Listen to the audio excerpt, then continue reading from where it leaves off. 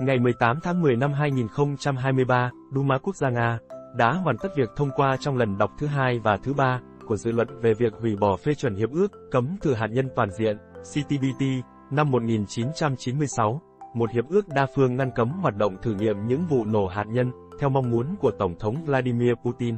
Trước đó, Nga đã chuẩn bị bãi thử cho một vụ thử hạt nhân, làm gia tăng căng thẳng với phương Tây. Điều này cũng có thể thúc đẩy những cường quốc thế giới khác quay trở lại với hoạt động thử nghiệm hạt nhân. Thử nghiệm hạt nhân một thông điệp chính trị. Chủ tịch Duma Quốc gia Nga Vyacheslav Volodin nói, chúng tôi hiểu trách nhiệm của mình, đối với công dân của mình, chúng tôi bảo vệ đất nước của mình. Nga, quốc gia đã phê chuẩn CTBT vào năm 2000, cho đến nay vẫn cho biết, họ sẽ vẫn là một bên ký kết hiệp ước, và tiếp tục cung cấp dữ liệu cho hệ thống giám sát thử nghiệm hạt nhân toàn cầu. Tuy nhiên, khi giới thiệu dự luật, Chủ tịch Volodin đã nêu lên khả năng Nga sẽ rút hoàn toàn khỏi hiệp ước. Ông nói, chúng tôi sẽ không nói cho họ, Washington, biết chúng tôi sẽ làm gì tiếp theo, dù chúng tôi có còn là thành viên của hiệp ước hay không. Chúng tôi phải nghĩ đến an ninh toàn cầu, an ninh của công dân chúng tôi và hành động vì lợi ích của họ. Luật sẽ được đệ trình lên Thượng viện, và xin chữ ký của Tổng thống Nga Vladimir Putin trước khi ban hành. Theo nhiều nhà phân tích phương Tây về an ninh, hiện đang có rất nhiều khả năng rằng Nga sẽ tiến hành một cuộc thử nghiệm hạt nhân. Dù vậy, Tổng thống Putin nói rằng, đấy chỉ là quan điểm từ phía Mỹ quốc gia đã ký CTBT nhưng không phê chuẩn hiệp ước này. Ông James Acton, đồng giám đốc chương trình chính sách hạt nhân tại Carnegie Endowment for Peace International, cho biết vụ thử hạt nhân của Nga rõ ràng nằm trong chương trình nghị sự. Tôi không nghĩ đó là điều chắc chắn, nhưng điều đó cũng không gây ngạc nhiên. Ông Matthew Harry, giám đốc về chính sách và phổ biến hạt nhân tại tổ chức cố vấn Lucy ở London, cho biết việc Nga hủy bỏ quyết định phê chuẩn sẽ tạo nên một khuôn khổ pháp lý và bối cảnh cho Nga thực hiện thử nghiệm bất cứ khi nào họ muốn. Nếu Moscow tiến hành một cuộc thử nghiệm, thì có thể nói họ đã phát đi một tín hiệu mạnh mẽ, nhằm gieo rắc mối đe dọa hạt nhân vào tâm trí người dân, nhằm thể hiện quyết tâm của họ và tạo ra nỗi sợ hãi. Ông Nikolai Sokov, nhà nghiên cứu cấp cao, tại Trung tâm Giải trừ và chống phổ biến vũ khí hạt nhân Việt Nam kiêm cựu nhà ngoại giao Liên Xô và Nga, còn chỉ ra nguy cơ nặng nề hơn, vụ thử hạt nhân của Nga sẽ đánh dấu sự leo thang nghiêm trọng, khiến các nước đưa vũ khí hạt nhân đi vào sử dụng trong thực tiễn. Vì vậy, ông không kỳ vọng rằng Nga sẽ tiến hành thử nghiệm ở giai đoạn này.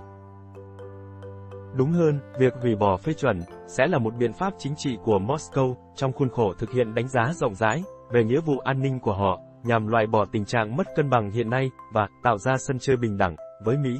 Dù vậy, ông nhận định rằng việc này vẫn gây ra tình hình rất căng thẳng và nguy cơ leo thang không phải là điều không thể. Cũng theo ông, Nga có thể sẽ thực hiện thử nghiệm hạt nhân nếu Tổng thống Putin nhận thấy tình hình tồi tệ trong cuộc chiến ở Ukraine. Bản thân ông Sokov cũng không nghĩ rằng Tổng thống Putin quan tâm thật sự đến việc sử dụng vũ khí hạt nhân, nhưng hành động này vẫn gây ra rủi ro nếu không thể kiểm soát mọi sự kiện. Hơn nữa, tình trạng leo thang sẽ thúc đẩy các quốc gia thật sự sử dụng vũ khí hạt nhân, dù rằng đó không phải là điều mà Tổng thống Nga mong muốn. Điều cấm kỵ mang tên hạt nhân Nga đã không tiến hành thử nghiệm hạt nhân kể từ năm 1990, chỉ một năm trước khi Liên Xô sụp đổ.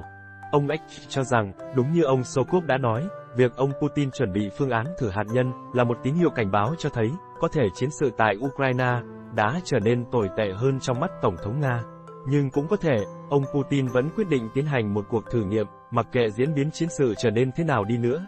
Trong trường hợp này, ý định thử nghiệm là cách Nga tuyên bố, ý định tiếp tục phát triển vũ khí hạt nhân, cũng như khẳng định tầm quan trọng ngày một gia tăng của chúng trong hệ thống phòng thủ của nước này, vào thời điểm những lực lượng thường trực của Nga đang gặp khó khăn tại Ukraine.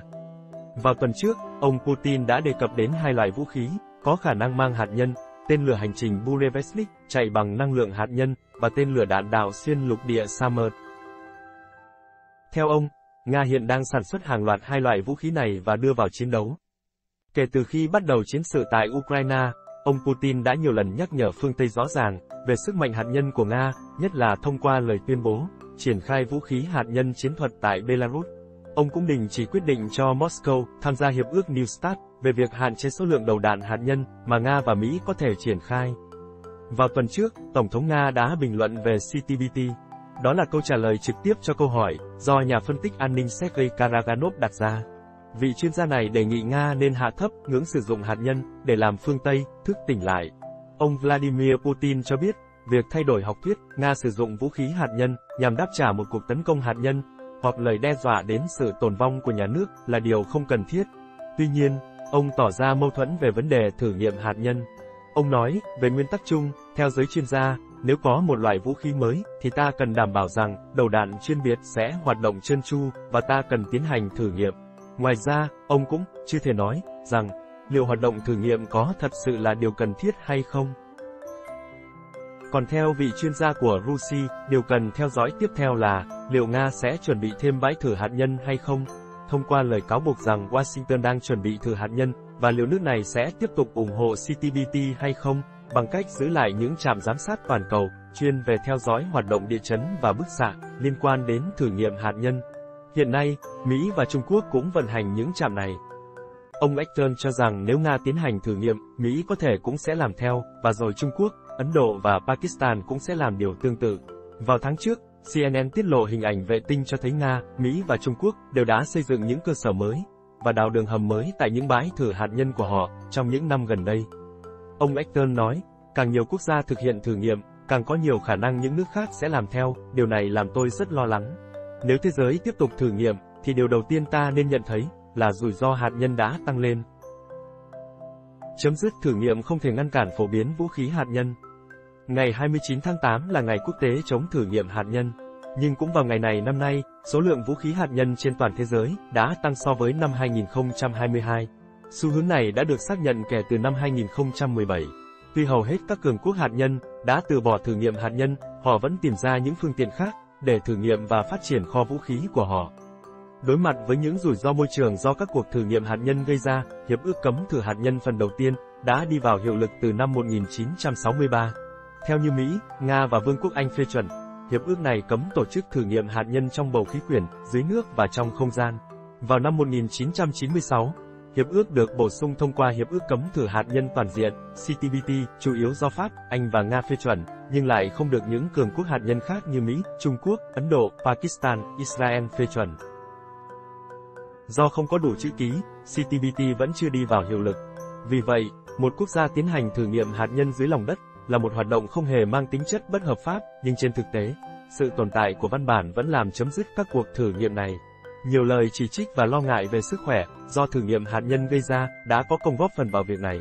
Tại Pháp, có 193 cuộc thử nghiệm đã diễn ra ở Polynesia, trên các đảo san hô Muluzoa và Fangataufa, trong giai đoạn từ năm 1966 đến năm 1996, gây nên thảm họa đối với sức khỏe của cư dân quần đảo Thái Bình Dương, những người vẫn đang yêu cầu bồi thường. Tuy nhiên, dù đại đa số các cường quốc hạt nhân không còn tiến hành thử nghiệm nữa, điều này vẫn không đồng nghĩa rằng họ không tiếp tục phát triển hoặc đổi mới kho vũ khí của mình. Vào năm 2022, kho đầu đạn hạt nhân toàn cầu đã bắt đầu tăng trở lại. Một ví dụ tiêu biểu là Trung Quốc, tăng kho dự trữ từ 350 đầu đạn lên thành 410, vì mục đích lâu dài là có được số lượng ngang bằng với Mỹ và Nga, một số ước tính cho rằng số đầu đạn sẽ là 1.000 vào năm 2030. Ở mức độ thấp hơn, Ấn Độ, Pakistan cũng đã tăng số lượng đầu đạn, sẵn sàng đi vào hoạt động, còn những các cường quốc khác thì giữ nguyên số lượng của họ. Trong phòng thí nghiệm, bà Helus Fayette, nhà nghiên cứu tại Trung tâm An ninh của IFAI, kiêm chuyên gia vấn đáp về hạt nhân, giải thích, việc không thể tiến hành thử nghiệm, gây một chút ít cản trở đến khả năng tiến bộ về công nghệ, nhưng ta vẫn có thể phát triển kho vũ khí hạt nhân của mình và sản xuất ra những đầu đạn mới với hiệu quả ngày càng cao hơn mà không cần màng đến chuyện thử nghiệm. Đây là những gì mà Pháp đang làm, nước này không phát triển kho vũ khí của mình về mặt số lượng mà là về chất lượng bằng cách sản xuất những đầu đạn hạt nhân ngày càng tinh vi và chính xác, dù rằng đã ký và phê chuẩn CTBT. Nhằm đảm bảo tính hiệu quả cho kho vũ khí của mình, các cường quốc hạt nhân hiện nay đều thực hiện mô phỏng trong phòng thí nghiệm bằng cách sử dụng các phép tính toán học và vật lý các nhà khoa học có thể mô phỏng các vụ phóng vũ khí hạt nhân ở quy mô nhỏ. Tại Pháp, thiết bị nghiên cứu nhiệt hạch laser Megazone nằm gần Bordeaux cũng tham gia đóng góp vào mô phỏng thử nghiệm này. Một số thành phần của vũ khí hạt nhân được làm nóng bằng tia laser, để xem chúng sẽ phản ứng như thế nào trong bối cảnh vụ nổ hạt nhân.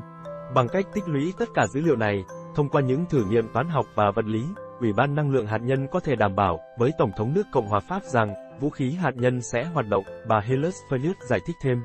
Hơn nữa, không có điều gì cấm họ thử nghiệm vật trung chuyển, tức tên lửa mang đầu đạn hạt nhân, như Pháp đã làm, bắn tên lửa M51 từ tàu ngầm, mang tên lửa đạn đạo hạt nhân, SNLE, vào tháng 4 năm 2023. Mỹ là một trong những quốc gia tiên phong trong việc thực hiện các cuộc thử nghiệm trong phòng thí nghiệm hạt nhân mới này. Tiêu biểu là mức đầu tư gần 3,5 tỷ đô la Mỹ vào National Ignition Facility thiết bị laser lớn nhất thế giới, đặt tại phòng thí nghiệm Lawrence Livermore ở bang California, với khả năng tái tạo lại những điều kiện tạo nên một vụ nổ hạt nhân. Loại thiết bị này không chỉ được sử dụng cho mục đích quân sự mà còn cho phép các nhà khoa học đóng góp vào nghiên cứu về phản ứng tổng hợp hạt nhân để có thể thu được năng lượng sạch 100%. Có thể nói, nếu chấm dứt thử nghiệm, không thật sự ngăn cản được sự phát triển của kho vũ khí hạt nhân ở quy mô lớn, thì quyết định chấm dứt thử nghiệm nhằm xoa dịu quan hệ quốc tế cũng không mang về lợi ích đáng kể.